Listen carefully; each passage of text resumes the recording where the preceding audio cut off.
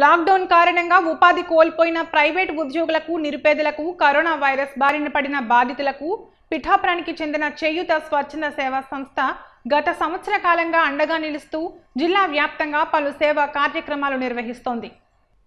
ఇందులో భాగంగా సంస్థ ఫౌండర్ మొండి రవికుమార్ ఆధ్వర్యంలో పిఠాపురం నియోజకవర్గంలో లాక్డౌన్ కారణంగా ఉపాధి కోల్పోయిన ప్రైవేట్ ఉపాధ్యాయులకు నిత్యావసర సరుకుల పంపిణీ కార్యక్రమాన్ని నిర్వహించారు. ఈ కార్యక్రమానికి ముఖ్య అతిథులుగా Pithapuram circle inspector YRK Srinivas YCP యువజన నాయకుడు బత్తుల సాయి హాజరయ్యారు. ముందుగా ప్రైవేట్ స్కూల్స్ టీచర్స్ యూనియన్ రాష్ట్ర అధ్యక్షులు సుంకర అనిల్ చౌదరి మాట్లాడుతూ తమను ప్రభుత్వం గుర్తించకపోయినా చేయూత స్వచ్ఛంద సంస్థ గుర్తించి తమను ఆదుకునేందుకు ముందుకొచ్చినందుకు సంస్థ ఫౌండర్ మొండి రవికుమార్కు తమ యూనియన్ తరపున ధన్యవాదాలు తెలియజేస్తున్నామన్నారు అనంతరం సిఐ వైఆర్కే శ్రీనివాస్ బత్తుల సాయి చేతుల మీదుగా టీచర్లకు నిత్యావసర సరుకులు పంపిణీ చేశారు. ఈ సందర్భంగా సిఐ వైఆర్కే శ్రీనివాస్ సంస్థ ఫౌండర్ మొండి రవికుమార్ మీడియాతో మాట్లాడారు. ఈ కార్యక్రమంలో municipal sanitary inspector Satyanarayana councillor Matham Lovaraju చేయూత స్వచ్ఛంద సంస్థ కోఆర్డినేటర్లు నీలం దయాసాగర్ షేక్ మహబూబ్ బాషా చామంతి నాగేశ్వరరావు కాకి విజయ్ కుమార్ ఎం కిరణ్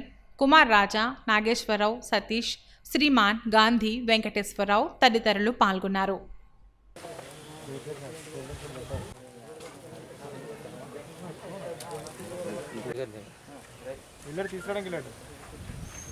చేయూత స్వచ్ఛంద సేవా సంస్థ వారు ఒక మంచి కార్యక్రమాన్ని చేపట్టారు.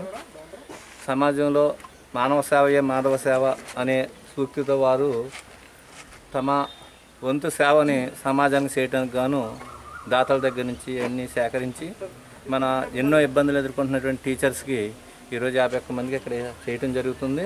ఈ వ్యాపారాలు అవన్నీ కూడా ఇవ్వటం జరుగుతుంది. అలాగే ఇంకా పదిహేను వందల మందికి ఇస్తామని చెప్పి అంటున్నారు. ఇది చాలా మంచి కార్యక్రమం.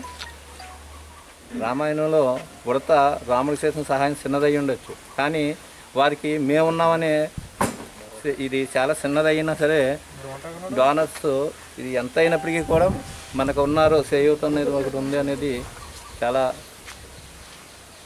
ఆత్మస్థైర్యాన్ని తెస్తుంది. అలాగే ఇంకా మంచి కార్యక్రమాలు ఇంకా చాలామంది చేయాలని భవిష్యత్తులో సేయూత మరింత చేయూతనివ్వాలని చెప్పి కోరుకుంటూ ఈ అవకాశం ఇచ్చినటువంటి బత్తిన సాయి గారికి అలాగే రవి గారికి అందరికీ కూడా నా ధన్యవాదాలు తెలియజేసుకుంటున్నాను. ఈ కష్టకాలంలో ఇబ్బంది పడుతున్న ప్రధాన స్థానంలో ఉన్నది ఎవరంటే మన సోదర ప్రైవేట్ ఉపాధ్యాయులు. వీరికి మేము సాయం చేయట్లేదండి. ఒక గౌరవంగా మన తోటి ఉపాధ్యాయుల్ని మనమే కాపాడుకోవాలనే ఒక సందేశం సమాజానికి ఇవ్వాలనే ఉద్దేశంతోనే మేము ఈ రోజున ఈ కార్యక్రమం చేపట్టడం జరుగుతుంది.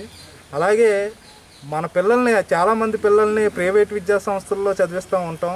అలాగే ప్రభుత్వ ఉద్యోగులు ఎవరైతే ఉన్నారో వారు కూడా మన విద్య ఎవరైతే ప్రైవేట్ సంస్థలో పనిచేస్తున్నారో ఉపాధ్యాయులు కానీ ఉపాధ్యాయేతర సిబ్బంది కానీ మన పిల్లల భవిష్యత్తు రూపుదిద్దడంలో వాళ్ళు చాలా కష్ట సమయం కష్ట సమయంలో ఉన్నారు ఇప్పుడు ప్రస్తుతం. వారికి ఒకసారి ఫోన్ చేసి మీ పిల్లల్ని చదివించే ఉపాధ్యాయుల పరిస్థితి ఎలా ఉందనేది ఒకసారి మీరు గమనించండి. వాళ్ళు ఏమైనా అటువైపు నుంచి మాట రాకపోతే వారు ఇబ్బందిలో ఉన్నారని గ్రహించి మీరే వారికి సాయం చేసే విధంగా ఉండాలని చెప్పేసి ఒక సమాజానికి మంచి సందేశం ఇవ్వాలన్న ఉద్దేశంతోనే ఈ రోజున చేయూత సంస్థ ఒక బ్లాగ్ని క్రియేట్ చేసి మేము ఇస్తామని అన్న వెంటనే చాలామంది మొహమాటం కొలితే రాకపోవచ్చు. అందుగురించి తూర్పుగోదావరి జిల్లాలో ఒక వెబ్సైట్ అనే ఒక బ్లాగ్ని క్రియేట్ చేసి దాంట్లో రిజిస్టర్ అవ్వమని ఆ రిజిస్టర్ అయిన కొంతమందిలో అంటే కొంతమంది దీంట్లో తెలియక రిజిస్టర్ అవి డబుల్ ఎంట్రీ అవినో ఉన్నాయి. కొంతమంది ఏంటంటే వీళ్ళు ఇస్తారా లేదా అని చెక్ చేయడానికి కొంతమంది పెట్టిన వాళ్ళు ఉన్నారు. కొంతమంది ఏంటంటే ప్రభుత్వ ఉద్యోగులు ఉండి కొంతమంది ప్రైవేట్ సంస్థలు పనిచేస్తున్న వాళ్ళు ఇటువంటి వాళ్ళు కొంతమంది ఉన్నారు. వీళ్ళందరినీ కూడా మేము చెక్ చేసుకుని ఈ రోజున పిఠాపురం నియోజకవర్గంలో నూట ఇరవై ఐదు మంది అప్లై చేసుకోగా దాంట్లో మేము నిజ నిర్ధారణ చేసి యాభై ఒక్క మందిని గుర్తించి ఈ రోజున వాళ్ళందరికీ కూడా మేము నిత్యావసరకులు అలాగే ఒక నెలకు సరిపడే రైస్ కూడా ఇవ్వడం జరుగుతుంది. ప్రధానంగా ఈ ఉపాధ్యాయులను కూడా మేము ఈ కరోనా సమయంలో మన జిల్లా యంత్రాంగం కూడా మాకు జూమ్ మీటింగ్లో జిల్లా కలెక్టర్ గారు కూడా చెప్పి ఉన్నారు. ప్రతి ఆర్గనైజేషన్ కూడా ఈ కష్టకాలంలో జిల్లాని కరోనా రహిత జిల్లాగా తీర్చిరావడానికి మీ వంతు ప్రయత్నం చేయండి. మీకు అన్ని విధాలు కూడా మేము సహాయక సహకారాలు అందిస్తామని చెప్పేసి అన్నారు. దానిలో భాగంగానే ఈ ప్రైవేట్ విద్యా సంస్థలు ఎవరైతే ఆర్థిక ఇబ్బందులతో ఇబ్బంది పడుతున్నారో వారిని మేము గుర్తించి గ్రామాల్లో వీరిని ఒక హెల్ప్ డెస్క్ కింద ఏర్పాటు చేసి వారికి ఆ గ్రామాల్ని కరోనా రహిత గ్రామంగా తీర్చిదిద్దడానికి వీరిని ఒక బ్రిడ్జ్ కింద ఏర్పాటు చేయడం జరుగుతుంది.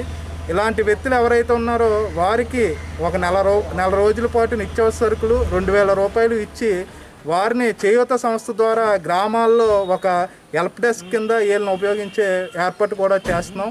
మా ఇప్పటికి కూడా ఆల్రెడీ గత కొంతకాలంగా కరోనా రోగులతో ఇబ్బంది పడుతున్న వారికి కరోనా సహాయకులకి కూడా ఇలాగ అపాయింట్ చేసి ప్రైవేటు ఉపాధ్యాయుల్ని మేము ఫుడ్ కోసం ఉపయోగించడం జరుగుతుంది. ప్రతిరోజు కాకినాడ పిఠాపురం పరిధిలో ఏడు వందల మందికి గత నెల రోజుల నుంచి కరోనా రోగులకి అలాగే కరోనా సహాయకులకి కూడా మేము ఫుడ్ ఏర్పాటు చేసి పంపించడం జరుగుతుంది. ఇలాగే ఎవరైతే మీరు సహాయం చేయాలనుకుంటున్నారో మీ ఆర్థిక పరిస్థితిని మీకు ఇష్టపూర్వకంగా ముందుకొచ్చి మాకు చెప్పినట్లయితే మీకు అన్ని విధాలుగా మేము సహాయం చేస్తాం. ఇది కేవలం సహాయం మాత్రమే కాదు గౌరవ వృత్తి కింద మీకు ఇచ్చి మీ సర్వీస్ని సమాజానికి కొద్దిగా గొప్ప ఉపయోగించాలనే ఉద్దేశంతోనే మేము ఈ కాన్సెప్ట్ని చేపట్టడం జరిగింది. దీనికి అందరూ కూడా సహకరించాలని ధన్యవాదాలు తెలియజేస్తాం